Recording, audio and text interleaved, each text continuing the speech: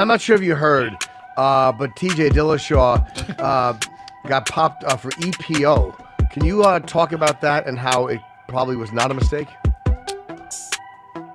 Yeah, so uh, yeah, I definitely heard. I mean, that's Ah. that's in my my wheelhouse in my department, and you know, there's a couple things. Uh, number one, I'm in this position into rubbing salt in the wound. Sure. Is now suspended for two years, which I think is very significant. Um, you look look response to it, Matt. You know, I, watched your video. Um, I think that's very significant too. He's definitely taken a beating publicly. Um, I do think there is something to be for you know admitting right away a wrongdoing and guilt, which which he did very quickly here. Um, but yeah, I mean it, it, it's shitty. I, I don't Yeah. think it's happening when any of our fighters test positive. Uh, but hopefully, you know, other fighters see that and say, "Hey, we're not fooling around with this program. It doesn't matter where you fall on the UFC roster, whether you're a current champion, former champion, or your, you know, first fight in the UFC. Everybody's being treated equally, and anyone runs afoul of the program, you know, they're going to be sanctioned accordingly. accordingly. Yeah, yeah. I think that. Uh, I think as far as him accepting it, I think he was caught. So I think he shouldn't get a a pat on the back for saying, "Hey, man, I did it," because you know what? You guys caught him. He, didn't come out and say, "Guys, you know what? Take that. You know, maybe you should test that again." No, he got caught. What else is he gonna do? You know? And this is a big thing. He did an apology, and in that apology, I didn't hear one anything for the guys that he fought when he was was on this, unless he's saying it was one time. But I wouldn't believe a word he said. For, and their families. He mentioned that he had a kid. What about their kids? I'm going off now, Jeff. I'm sorry. Let's get back to the uh, business at hand. that TJ's a cheater.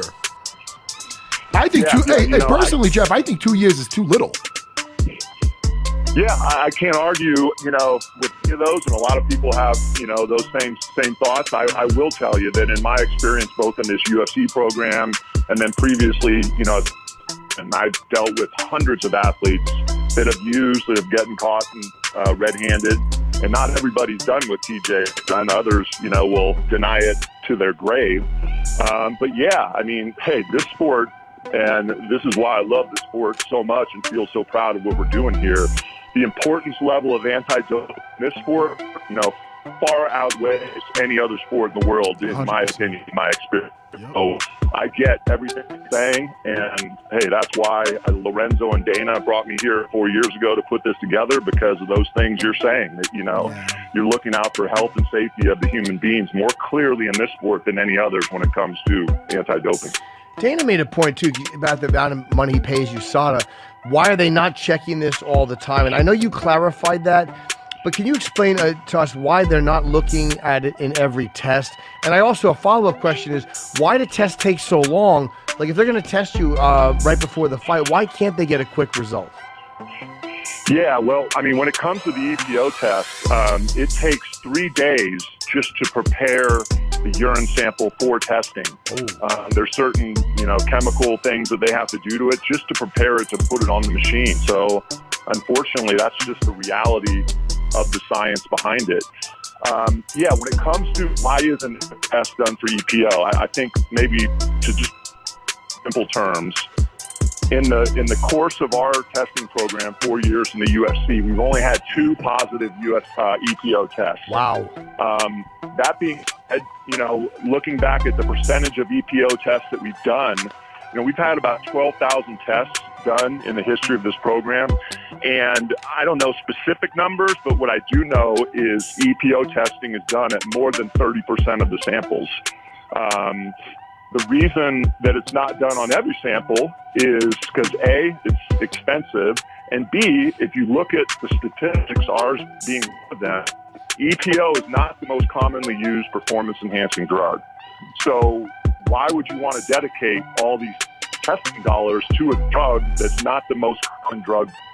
So again, in simple terms, hundred dollars for your program. The standard panel, the most common drugs we find, steroids, stimulants, SARMs, say it costs a dollar to test, and the EPO test four dollars a test. So if you had a hundred dollars, you did EPO testing on every sample. that would be a total of five dollars, one for the standard uh, panel and four for the EPO. So that would be 20 tests dollars.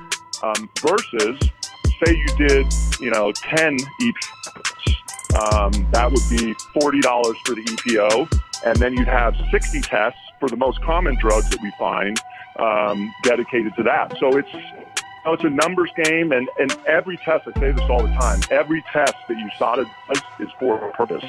There's a reason behind it. They're not drawing names out of the hat. They're not drawing what test is coming out of a hat. They study this. There's statistical analysis done, looking at our athletes' biological passports to see if anything's suspicious that would trigger an EPO test. Um, so, you know, again, EPO is, while it's, I think, a dangerous drug, it's a drug that would be very, you know, beneficial to a UFC fighter. It's not, uh, you know, on the scale of commonness, it's not the most common drug. And so, why would you dedicate all your testing dollars to a drug that's not as commonly used as the others? Can you speculate, or, or do you know why you said it would uh, your biological makeup? What tests were done? What was it that triggered it where they wanted to test TJ? That I don't know. And they don't, you know, it's a reason, there's a purpose why USADA does not share that information with me.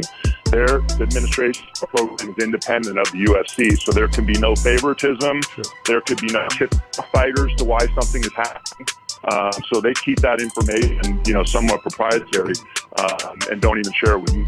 Um, I, I, can guess or imagine that you know something may have triggered on his biological passport.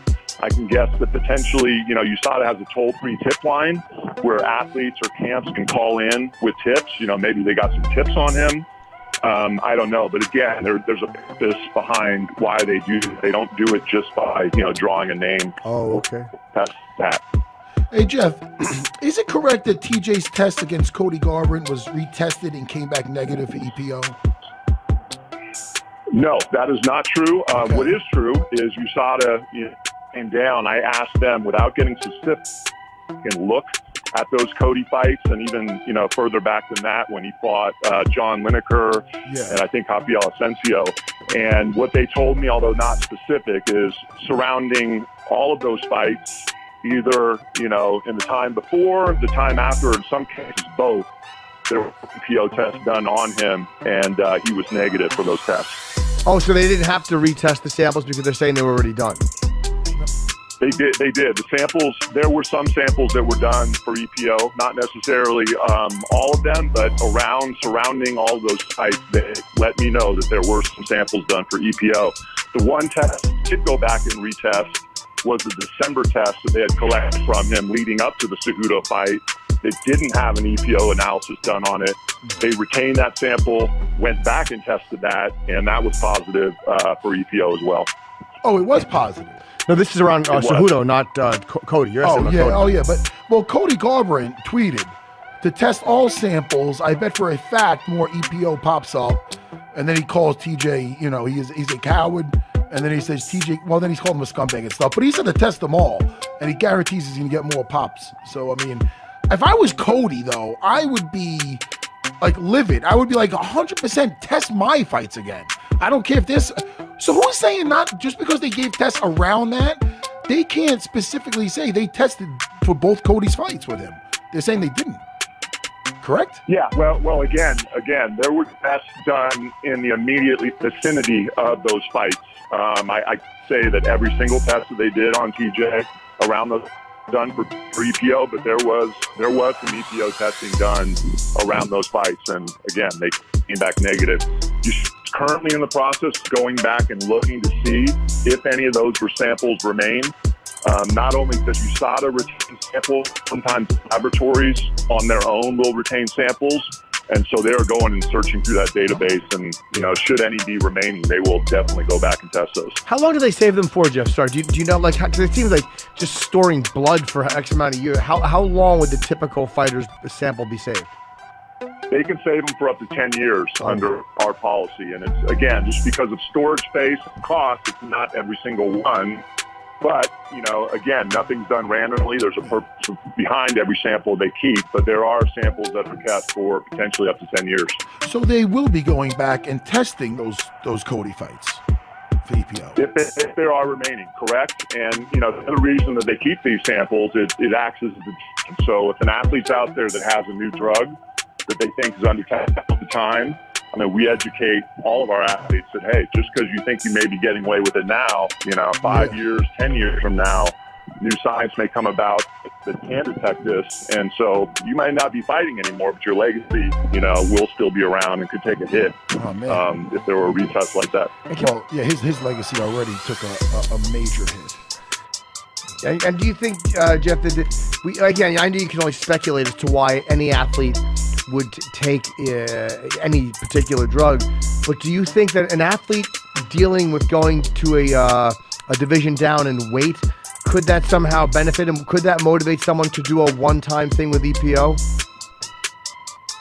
Yeah, you know, potentially. Um, you know, EPO's got a lot of a, a lot of properties that would help a, a UFC fighter. Um, definitely would give you more endurance because it creates more red blood cells, and red blood cells, well, their job is to bring oxygen to your muscles as they're working hard.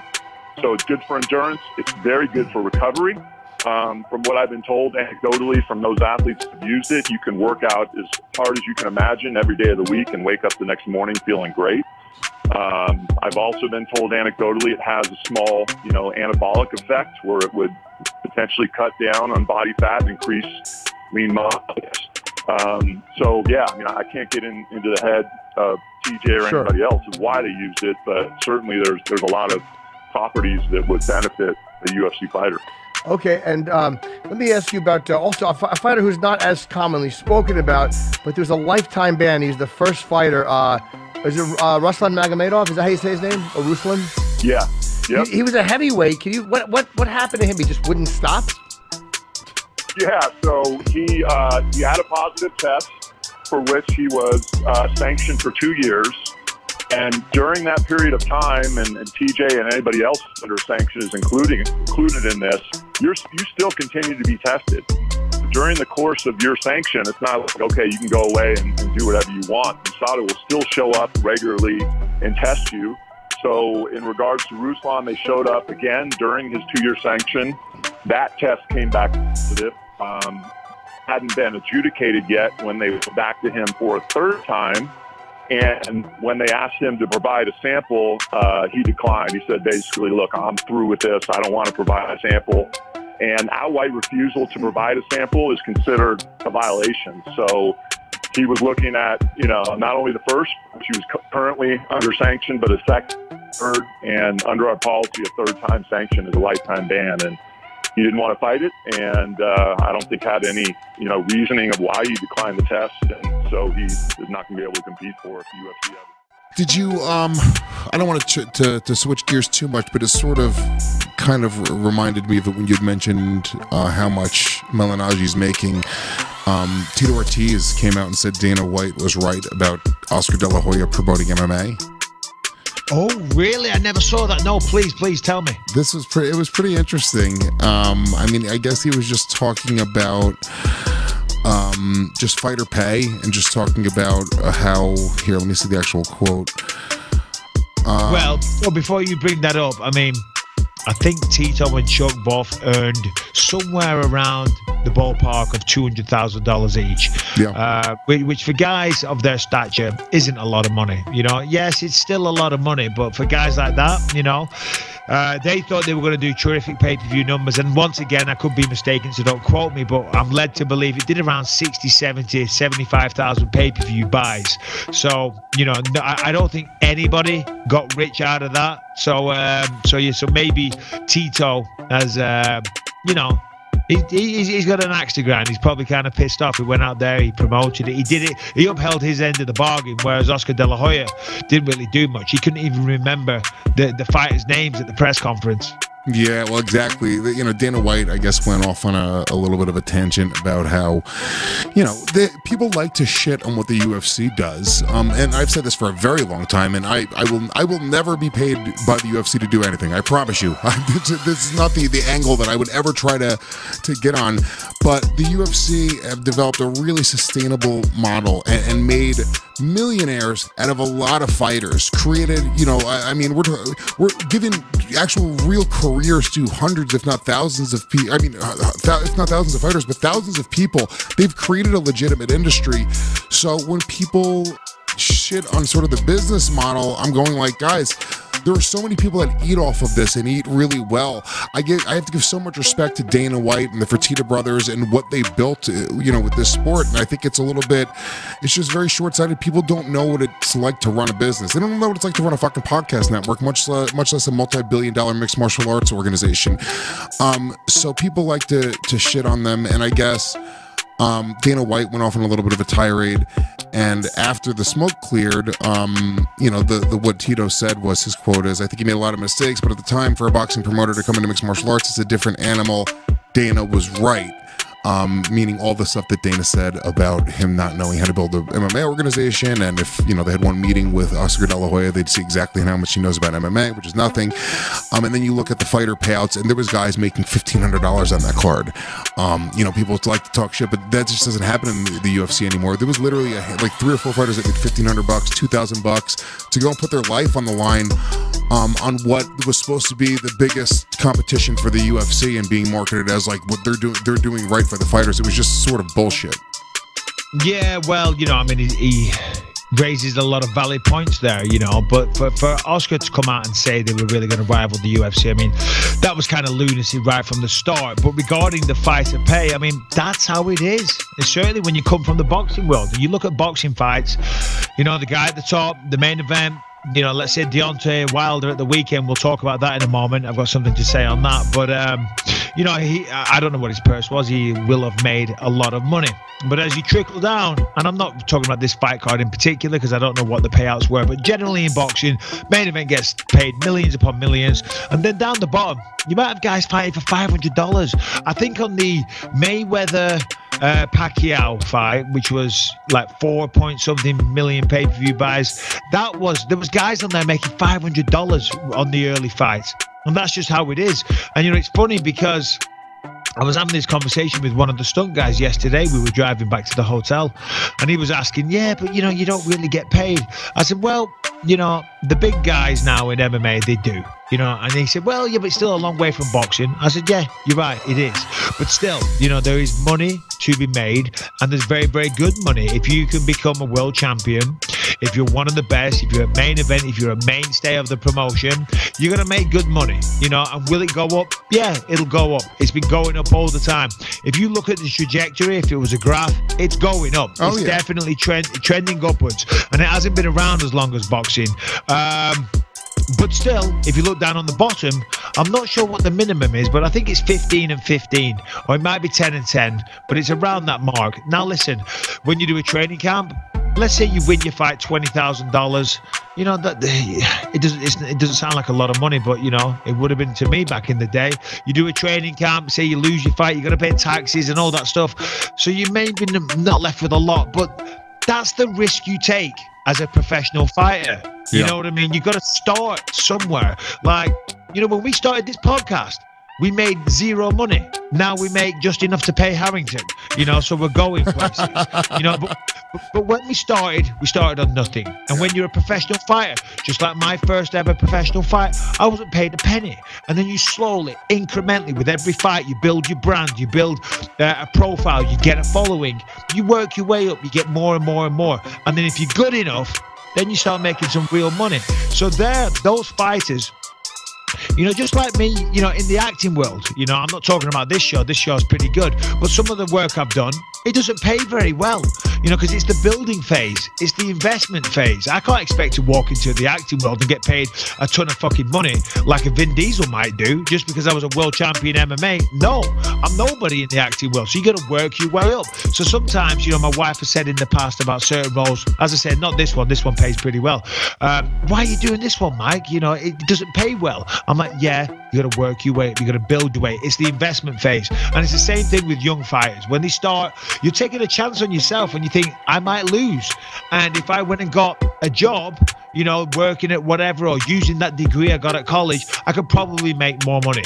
But I'm willing to bet on myself. I'm willing to take a gamble because I think I can win and I think I can become a main event and I think I can become world champion one day. So therefore, it's worth taking these small paydays now because it's going to pay off in the long long run. And that's what every fighter in every sport, whether it's UFC or boxing or anything else for that matter, that's the way you all fucking start. Formula One drive.